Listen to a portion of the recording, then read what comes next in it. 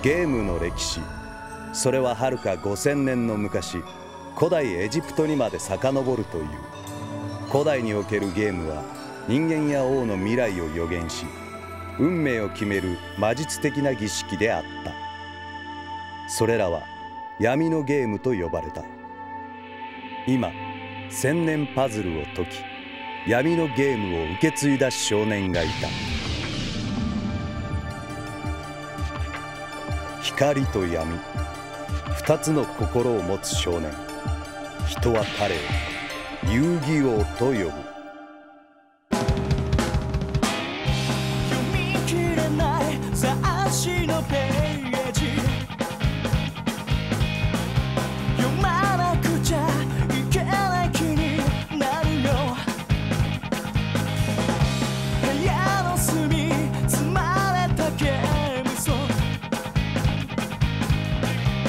らなくちゃ意味がないのかな。